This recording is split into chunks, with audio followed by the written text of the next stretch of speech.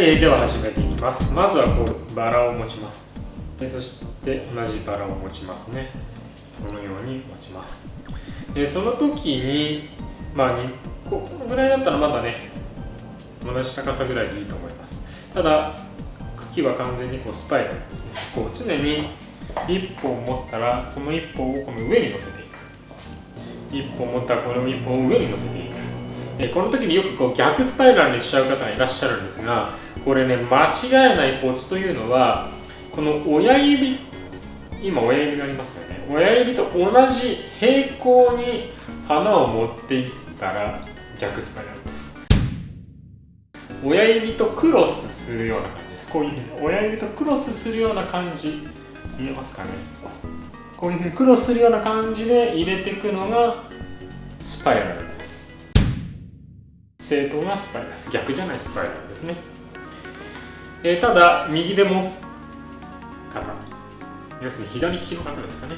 は逆になります、えーまあ、通常僕なんかみたいな右利きで左で花束を持つ方は、えー、このスパイラルは常に親指にクロスするような形で花を入れていきますね、はい、花をクロスしてるんですよ親指にクロスするような感じです。そしたらここでこの鳴子の葉っぱを入れましょう。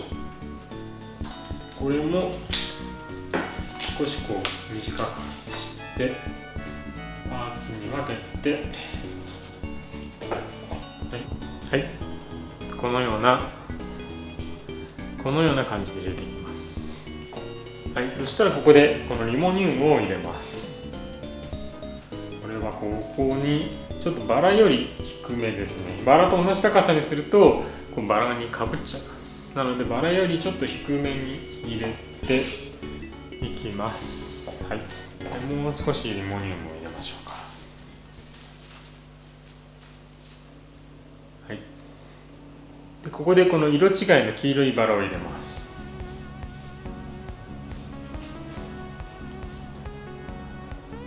こんな感じですね。でもう一本木バラ入れましょう。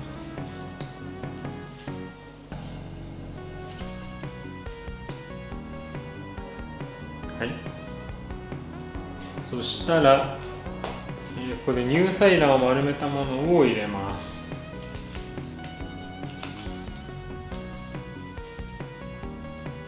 こんな感じですね。でもう一枚入れましょうか。はい。このような感じになります。えー、そしたらここでさリモニウムをもう一度。この乳細と乳細の間あたりですね。ここに入れます。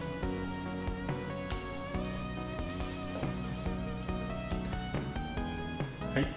そしてここで一回まあ花束を回します。裏側は今こういう状態ですね。でここにこのルテアルテアを入れましょう。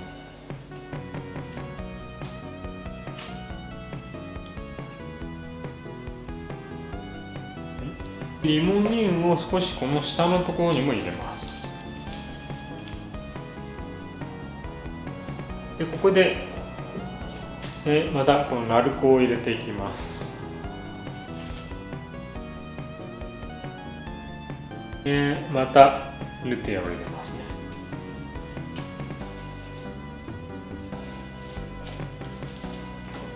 でまたリモニウムも入れましょうね。はい。この時点でどうですか？上から見るとだんだんこういうふうに丸くなってるのが分かりますか？オールラウンドになってきてますよね。でここでちょっと木腹が引きずり込まれてます後ろ見たら。これちょっと引き上げてあげましょう。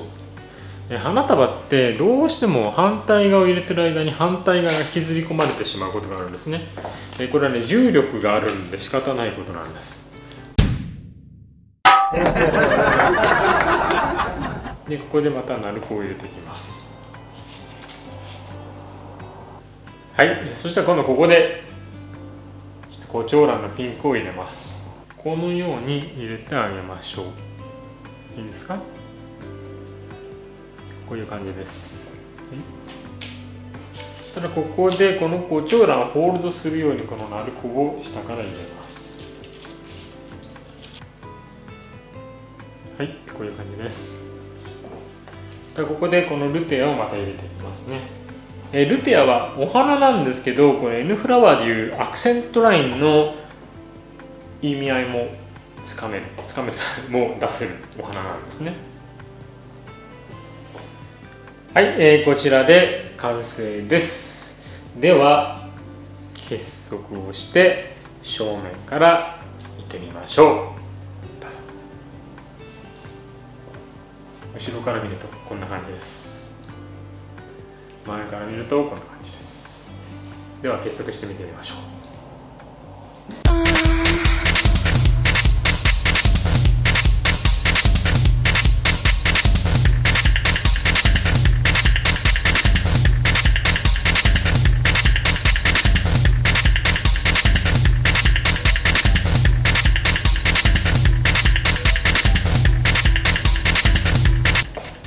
えー、こちらの花束はいかがだったでしょうか？これ正面も真裏も真上もこうみんなこう綺麗になってますよね。360度展開でできてます。えもちろんこう底辺もね180度展開以上になってます、えー、僕が代表を務める N フラワーではこの花束の専門講座をやってます、え花束が上手くなりたい方はぜひいらしてください。えー、花屋さんとかでもこう花束が苦花束を苦手にしている人がたくさんいるんですね、えー、そういう人たちはぜひねこう花束講座を受けてみてください、えー、まあ、近くで通学できる講座の場所があればいいんですけれどももしそういう近くにお近くに N フラワーがない場所でしたら、え本部で通信講座も行ってます、えー、ぜひ N フラワーで検索してみてください。えー、N フラワーの花束通信講座では本当にこうお花を触ったことがない人でも本当にこう最後卒業というか終了する時にはキャスケード風景ができるまでになってます。本当にねすごいと思います。ただ皆さんのねもちろん努力も必要です、えー、なので一緒に頑張っていきましょう。ではまた次回。か、まあ、日とかでお会いしましょう、まあ、僕のトークかもしれませんね。僕のトークは嫌なんでしょうでは次回お会いしましょう。See you next time!